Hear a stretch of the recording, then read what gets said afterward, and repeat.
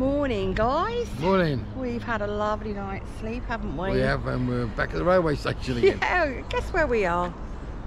We're back here again, aren't we? Yeah. And today we are going in the opposite direction and we're going to visit Herculaneum, which is an archaeological site which was destroyed by Mount Vesuvius in 79 AD. AD and it's smaller than Pompeii but it's the um, best well the most intact uh, preserved Attenzione, treno direttissimo per Napoli in arrivo sul binario 2. Allontanarsi dalla linea gialla. Attention, fast train to Naples arriving on platform 2. Move away from the yellow line. That's us guys Yeah, our train's here. We're gonna hop on that, and we'll bring around Herculaneum with us.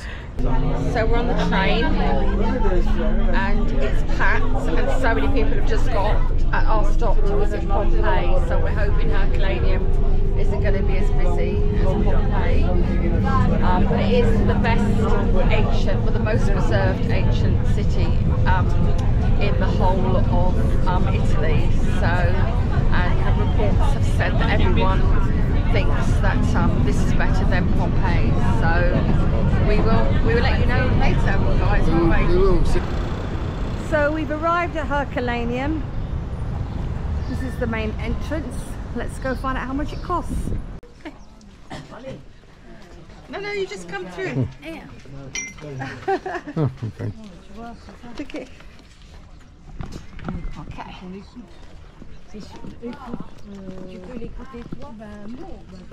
Okay. So this is an aerial view, as you can see.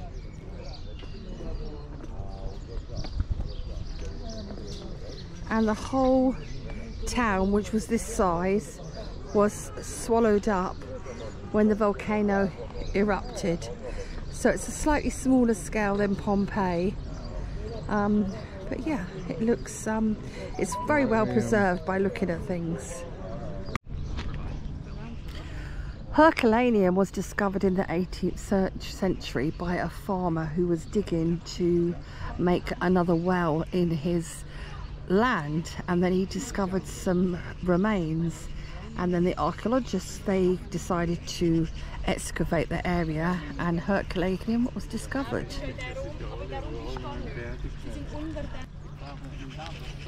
So the arches that are down here used to be storage for boats that opened out onto the beach.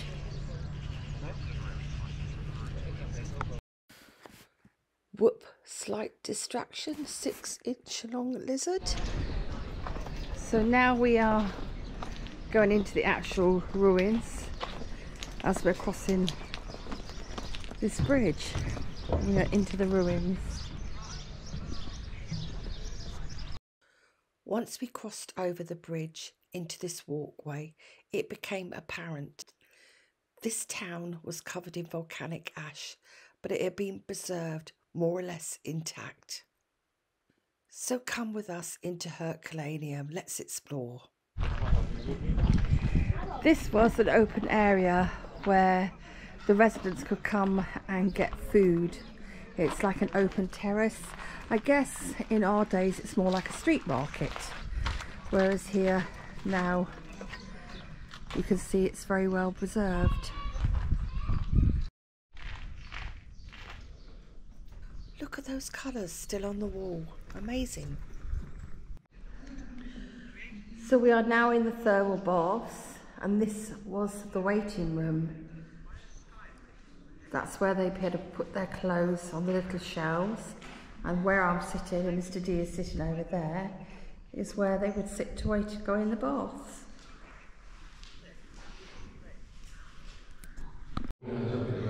So this is the male baths.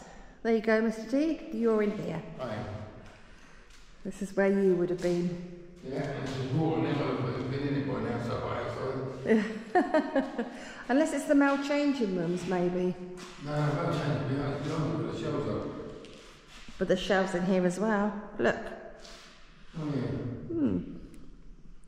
Anyway, but this is the men, so I'm going to go and find the ladies. This is the custodian's house, which they're currently excavation going on here at the moment, as you can see here. And this was the seat of Augustus took place. There's lots of work going on here, cleaning the ruins up.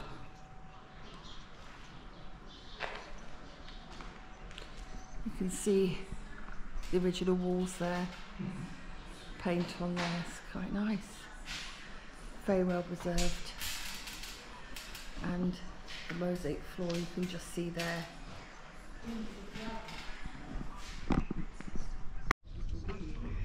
This is Thermopolium, again, where food was served, um, hot beverages and food, which was quite common in this area, served from here. Seem to have a lot of snack snack bars, Mr. D. You might have liked it here.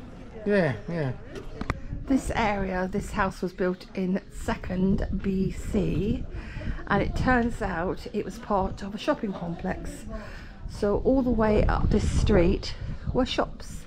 So that explains why the food shop is the next one down.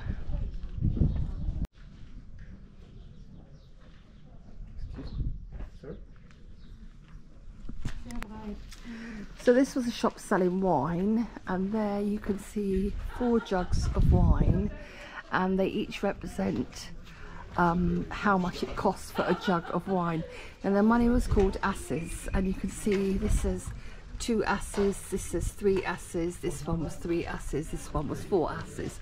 So depending on the quality of wine is how many asses you paid.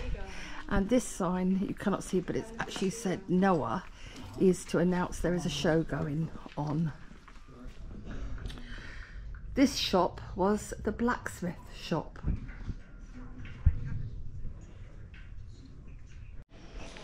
This is the house of the Black Saloon. It was owned by a very rich residence.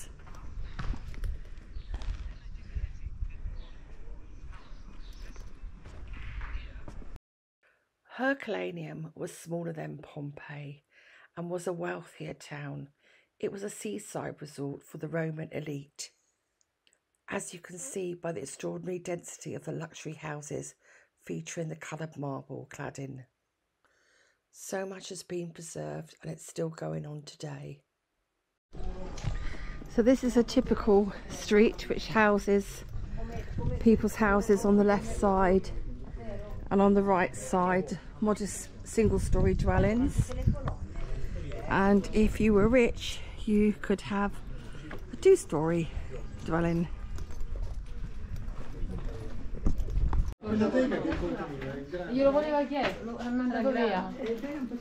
This was a mill where they got the flour for the baker's goods. The ovens in there, you cannot really, I don't know if you can see through the barbed wire, but it's closed off. And this is where they ground the flour. This is Priapus's Tavern, in other words his pub. And he used to have roasted walnuts there and a little counter there where he served refreshments. This area leads to tunnels. After Herculaneum was discovered, treasure seekers excavated tunnels and took artifacts. It's very nice and cool in here. I would say this is part of the tunnels, but also a place of worship.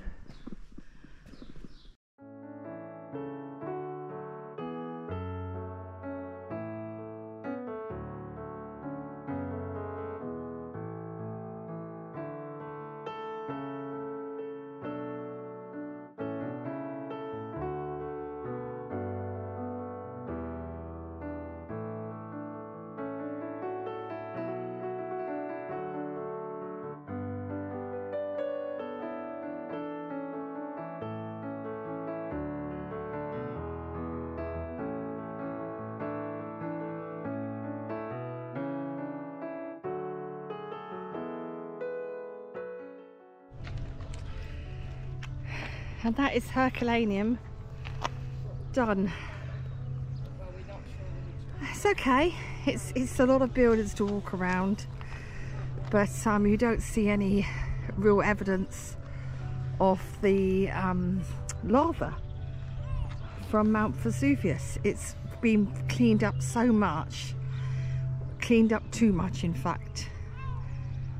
And you have no access to the lower levels where you see the bodies covered in lava. So we'll go to Pompeii tomorrow and compare the two.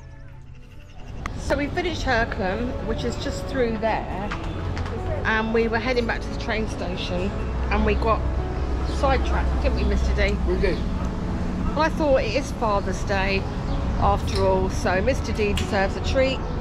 So, cheers, guys. Yeah, we've got Aperol Spritz. Cheers. Paris Spritz and happy Father's Day to all the fathers out there. You're knackered. Yeah, yeah. It's eight, eight hours now. So warm in here. It is. Sun gone, but the train is coming.